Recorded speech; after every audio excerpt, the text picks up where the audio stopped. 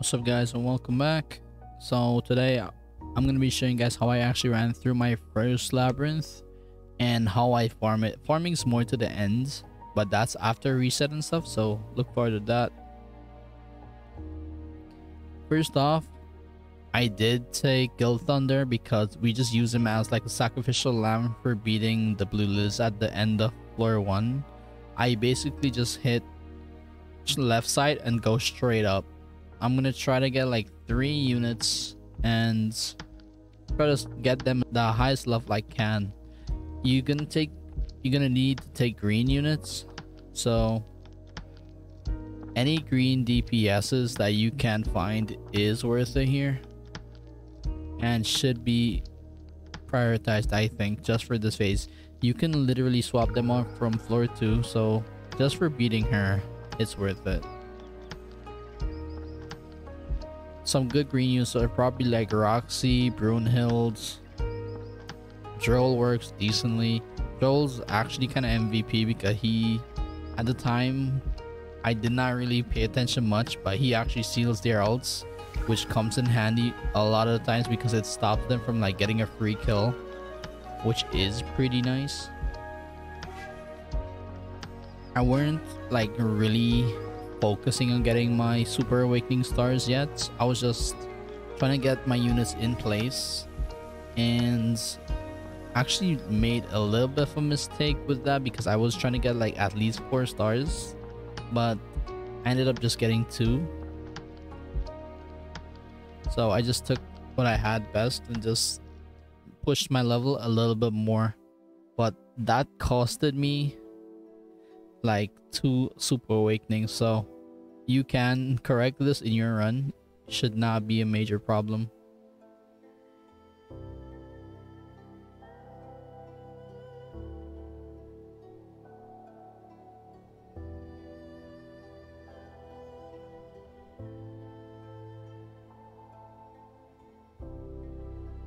Also the main team you're gonna be like focusing to build for endgame for this is a Mael squad, but the thing is, on your first run, I think you should just focus up on actually just getting through it and trying to get some Mael himself. That's what you want to focus, like try to get. That's your goal, just trying to get Mael at this point. Once you get him, you can like try to reset, build your farming team, and move on from there. So, not too much of a rushed method.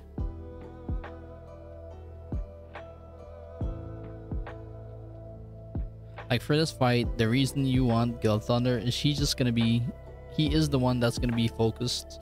If you can get two blue units, you know they're gonna be targeted first, and your green unit is the one that's gonna be killing. But having two green units mean you just tank a little better, as the the advantage and disadvantages perks are a little bit better for this. So there is that. So you can that's why you kind of have to pay attention to it for like flow bosses. As you see, Brunhild does crazy damage to this. Yeah, we barely did not kill. But it's fine. We actually tanked these pretty neat pretty easily.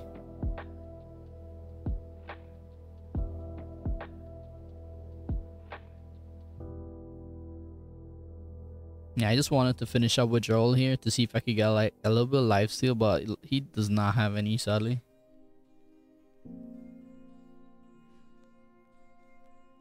Floor 1 went down pretty easy.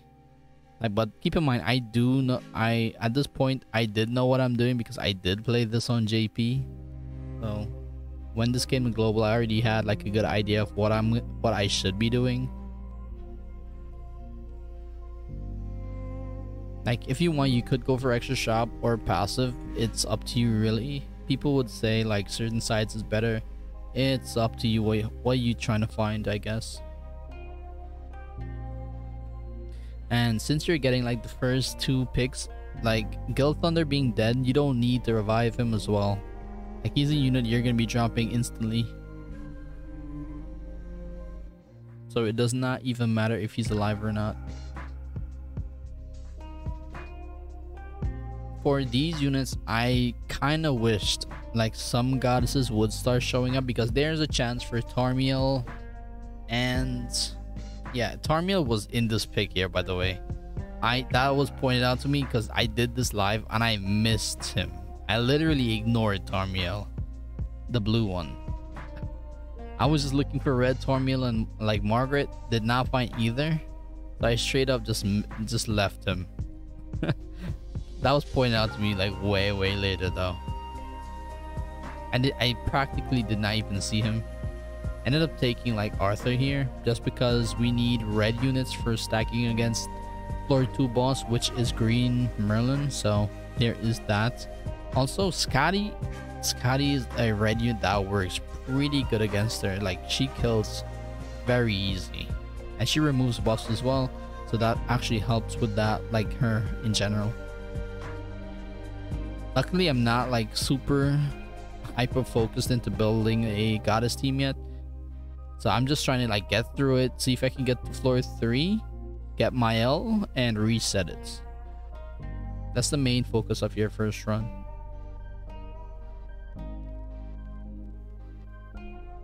and then these passes you can basically take something that helps you out. If you get something pretty good along the way, just take it. But most of these passes don't really help that much. So you can really just take whatever. I think I just take I just took like strength attack. Yeah, I did.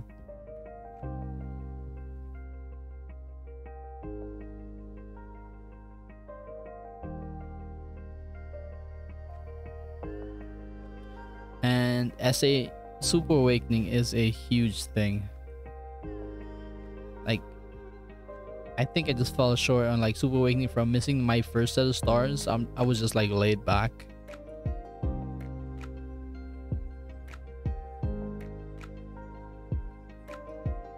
Yeah, and these teams are gonna have like no problem clearing these through. So you don't have anything to really worry about there. You should be fine on all fronts. And i'm pretty sure you don't want to like be picking levels anywhere after like the first floor because killing all of these are gonna give you a decent level boost. And you should hit max like by the time you hit for last boss which is Gowther so there is that.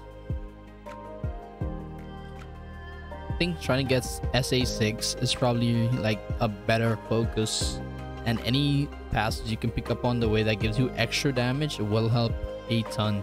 So make sure to hyper focus those instead of like the tanky ones which makes you like just stick around longer. It does not make sense. Better to just take something that makes you do more way way more damage.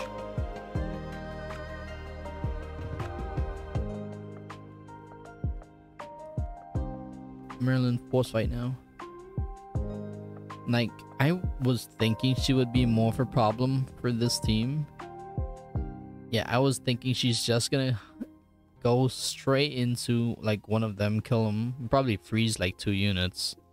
But she actually just freezes one unit, which is very nice. And I have three cards for Skadi, and we just do crazy damage. Like Skadi just goes in and Merlin can't all because I still have Droll.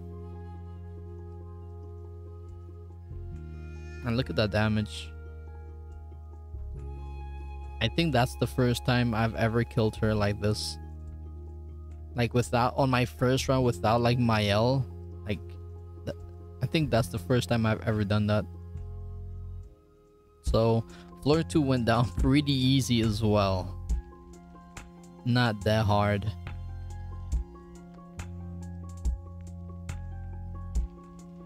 Floor 3, there's a there's a good amount of stuff in here, so that's what I say you don't need to like push levels super fast. You uh, from just clearing these floors, you're gonna hit level 100 pretty easily. So just make sure you get passives that that help you to get further in with your attacks. Or if you if you're not getting if you did not get Mael you can try to get someone that that will help you clear faster on your next run. So you can get Mael on the on your second or third run I guess. But I did end up getting lucky. And I pretty much just got my instantly, which was insane for me because he just shot me straight through the rest of the floor. And the boss was not, how should I say? I think I made a slight mistake in my last choice for a unit, and that costed me a little bit. But from the time I got my Mael, it was like done and dusted. We already are set. Once we beat floor 3 boss, we can reset and get straight into farming anyway. Like getting the passives done and just going straight into it.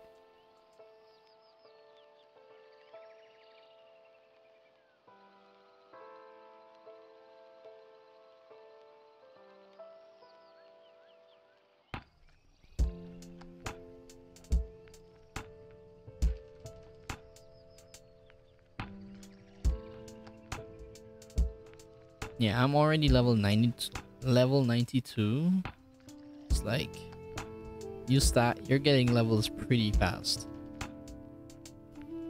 So getting the levels is is like a waste. Getting the SAs should be your main focus.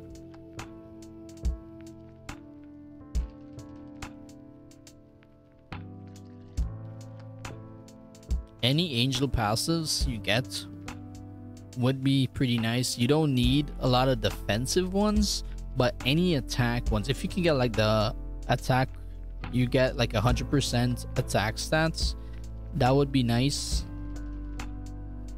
Like just for a starter and then you reset and see if you can stack one more. That's all you need to completely farm everything.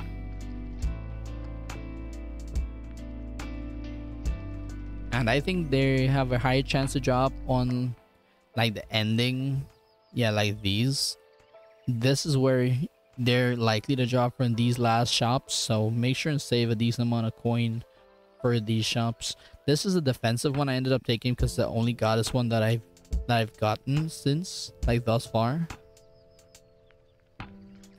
And i'm buying sa just trying to push through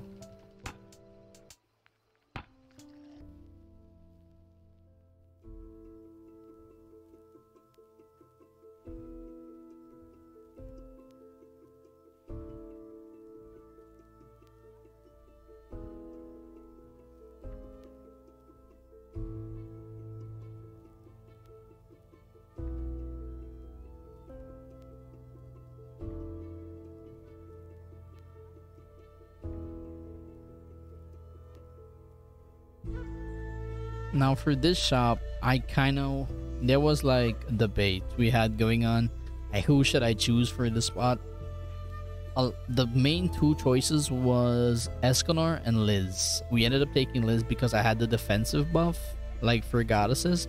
But I think I ended up regretting that decision because it. This is what this is why I'm saying you don't want to pick something that gives you more defense than straight out straight out attack.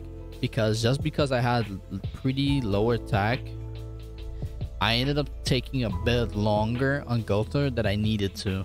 And also Escanor had like his his three turn immunity right? So he could do attacks every three turns which I thought I think now that after I've already done it he was the better choice.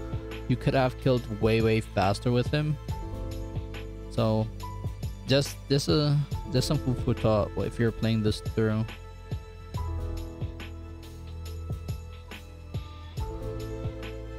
Because now it's like fighting Gowther, he's gonna be attack ceiling a lot. And constantly just buffing himself up. This was like a one long, long, painful fight for me. Because we would not get any like a lot of clear spots where we could just go in and do damage and stuff. So that's where I think I fell short. If I had picked Escanor, we would have like every three turns to do damage and probably kill because he is pretty squishy. You just need to not be attack sealed. Which he and he just keeps doing. He spams that out like it's nothing. So one thing you gotta look out for for this stage like his damage is not insane as well. But once he's buffing up and he's attacking, he's gonna whittle your team down. So if you don't have Margaret, someone like Escanor could help.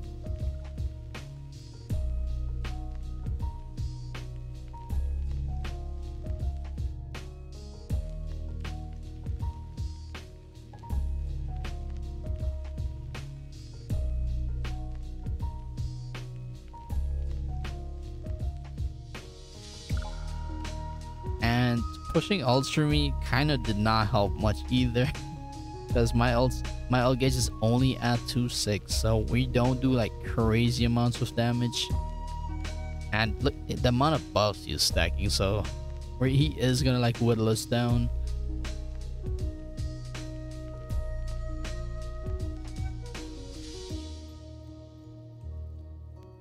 Like no lie i think this fight alone took like 10 plus minutes maybe just it well it felt like that in the moments for sure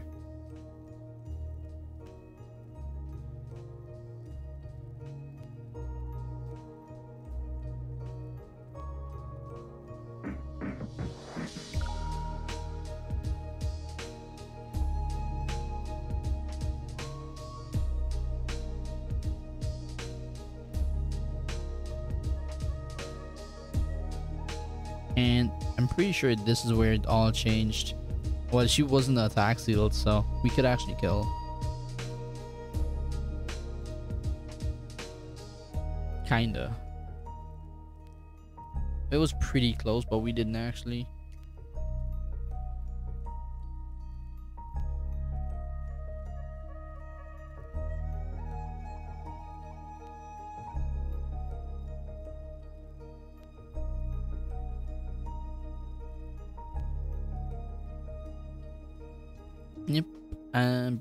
Just comes in, we kill. And this is how I cleared my first first labyrinth. Like the just the complete floor three runs, this is what I did.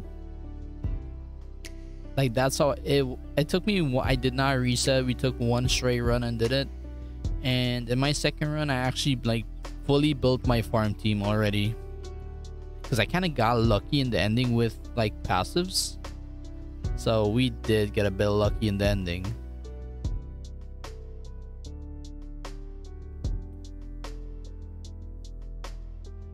For okay, I'm gonna show you the passives I'm working with for my current farm team. So you can see how easy it is.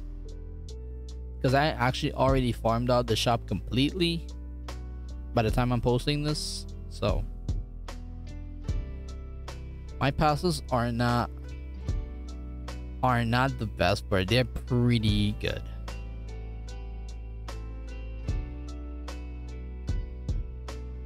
Okay, so my squad was Mael, Ludo, Liz, and Melly. We ended up coming out with crit resist, crit chance, some basic stats for goddesses, and two increased attacks. So 175% increase to goddess team. And this completely shreds all of these bosses. Like they literally do crazy damage. Like Mael does a lot. And I think in one of the shops coming down to the ending of this I would end up picking up Tarmiel and then Tarmiel single target does a lot of damage as well. So I can actually I'll actually leave in all the ending boss fights so you can see them and how fast I go through them it's pretty simple how I farm this. Like my Mael does a lot of damage once you build it up to this point. So you just start back, rerun it, and you get him, get the passives that you are looking for, reset it, and move on basically. Because these, at this point, you're just one-shotting all of these bosses with like two cards. And farming out the shop. So it's not gonna really be holding you back which is pretty nice. That being said, guys, thank you for watching. Hope this helps in some way, and I'll see you guys in the next one.